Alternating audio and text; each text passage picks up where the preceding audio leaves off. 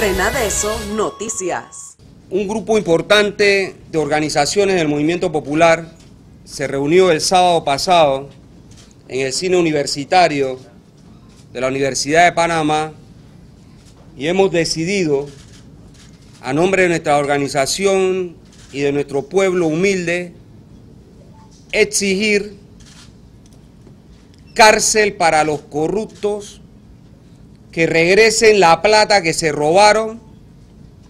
Además de ello, hemos planteado claramente una serie de acciones que concitan al pueblo a la calle a poner orden. ¿A quiénes?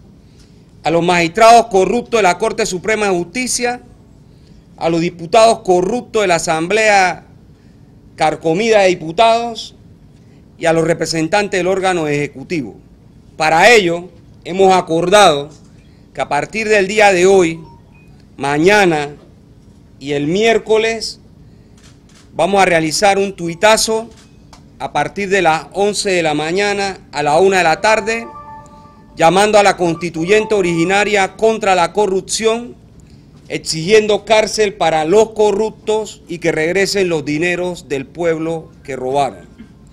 Hemos acordado empezar desde el día de hoy, pero especialmente el día miércoles, una distribución masiva de volantes que se van a realizar en horas de la mañana y horas del mediodía, según cada organización lo crea conveniente. Hemos acordado convocar al pueblo a una marcha que nos vamos a reunir en la Plaza 5 de Mayo a las 4 de la tarde el día jueves de esta semana para de allí pasar a la asamblea a repudiar ese, esa cloaca en la que la han convertido, la asamblea de diputados, y de ahí nos dirigimos hacia la corte a exigirle a los magistrados que cumplan en condenar a los corruptos y que cumplan en exigir el regreso de los dólares que nos robaron. Los trabajadores y lo llamada clase media pagamos nuestros impuestos de nuestro salario. El impuesto sobre la renta, eso fue lo que se robaron. El impuesto del ITBMS, eso fue lo que se robaron.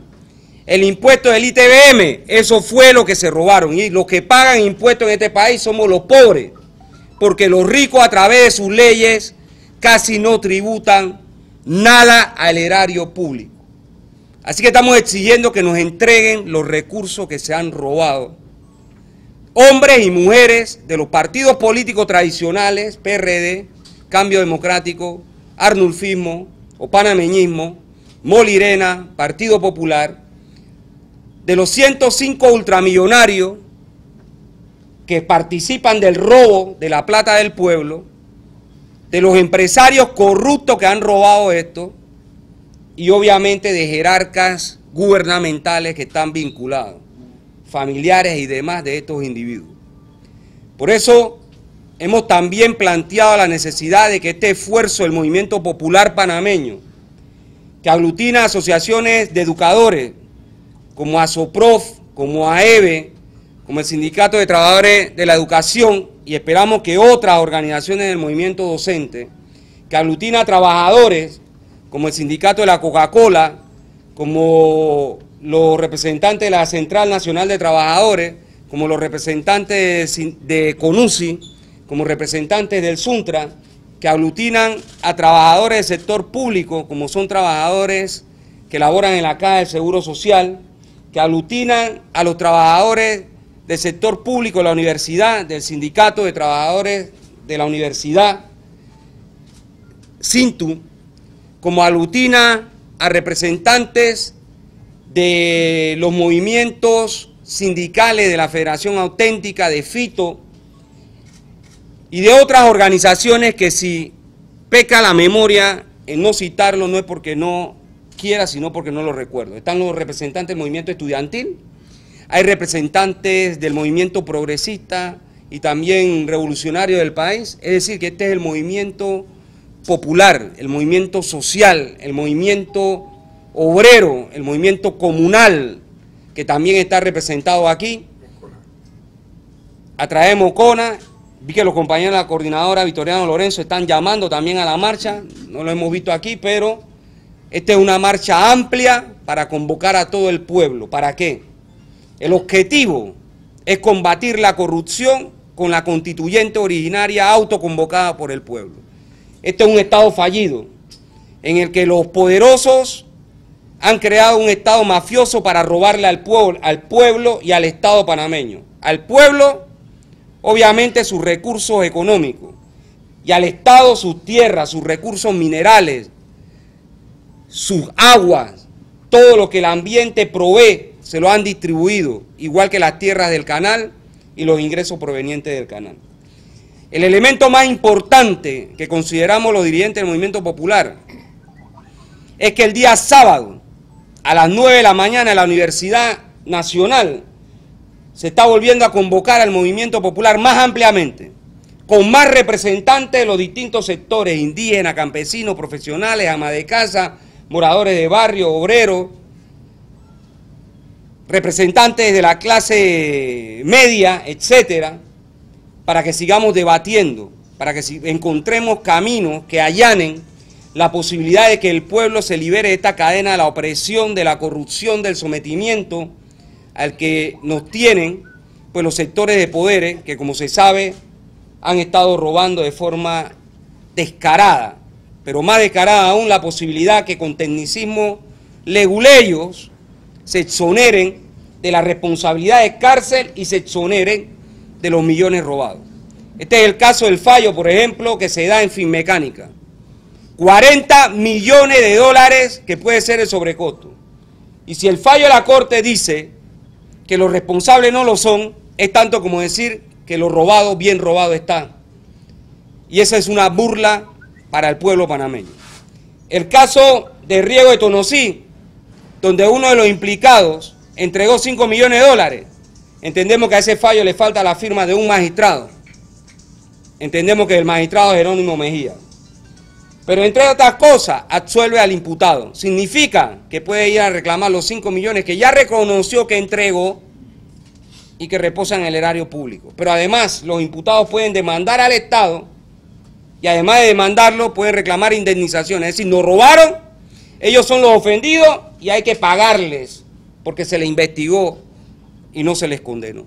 Entonces esto es inaceptable lo que está ocurriendo en el país. Y es el pueblo el que está llamado a poner orden frente a este problema. Sin luchas, no hay victoria. Sin luchas, no hay victoria. Sin luchas, no hay victoria. Cárcel para los corruptos. Cárcel. Cárcel para los corruptos. Cárcel. Mientras corruptos de alto vuelo se hacen sus celdas como Pablo Escobar Gaviria, que hizo su cárcel, aquí los corruptos hacen sus celdas con todas las comodidades, cama quinzae, eh, teléfonos celulares, satelitales también, pantallas de televisión, mayordomos que lo atiendan, etcétera, etcétera, etcétera. Mientras eso ocurre con estos señorotes, resulta ser que al movimiento popular y parte de su dirigencia se le criminaliza, se le penaliza por la protesta social. Ese es el caso de dos estudiantes recientemente detenidos y que dice que un policía se quebró la uña y por eso se le ha abierto causa criminal a dos estudiantes. Ahí están las imágenes, hablan por sí solas. Pero también es el caso de dirigentes gremiales, es el caso de compañero Cabeza, es el caso de los compañeros de la coordinadora Victoriano Lorenzo, que entiendo que uno de ellos está procesado, y así sucesivamente.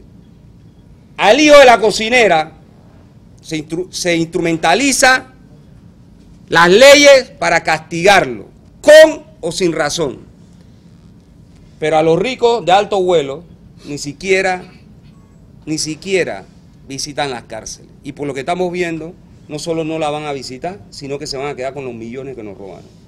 Así que al pueblo el llamado es claro, rechazamos la criminalización de la protesta social rechazamos el robo de lo que tanto esfuerzo nos cuesta a todos los que estamos aquí y los que no estamos aquí, que salimos a trabajar diariamente para que el erario público tenga los ingresos que requiere para escuela, educación, vivienda, carretera, agua potable, luz, para que estos sinvergüenzas se lo roben y que aquí no pase nada. Esto no puede ocurrir, por eso es que estamos apelando a nuestro pueblo, a sus organizaciones, pero también a nuestro pueblo para enfrentar este problema. El pueblo tiene que poner orden y el orden debe darse en las calles para poder enfrentar esta dura situación que vive la nación panameña en estos momentos. Adicional a los esfuerzos que se están realizando, se está debatiendo en estos momentos la posibilidad de que haya una movilización en Chiriquí y en Bocal del Toro el día jueves, de igual manera, y del encuentro se planteó también la necesidad de reuniones del movimiento popular en cada provincia del país. Desde Boca del Toro hasta Darién debemos estar discutiendo este problema en asambleas, en cabildo, en reuniones de dirigentes con el pueblo, volanteo, etcétera, de manera tal que creemos las condiciones necesarias para hacernos respetar, para que nuestra plata regrese y para quienes robaron vayan a la cárcel así como va el hijo de la cocinera, en expreso para la joya. De esa misma manera deben ir quienes nos robaron de cuello blanco. Esa es la regla, no puede haber dos justicias, una para los pobres y otra para los ricos de cuello blanco. No, ellos también tienen que ir a la joya. Y no podemos permitir en este país que ellos hagan sus cárceles como hizo Pablo Escobar Gaviria y que hagan su celda como hizo Pablo Escobar Gaviria. Ellos tienen que ir a la cárcel donde pagan el hijo de la cocinera que roba, de la, en las mismas condiciones, igualdad de condiciones. Sin lucha, no hay victoria. Sin lucha, no hay victoria.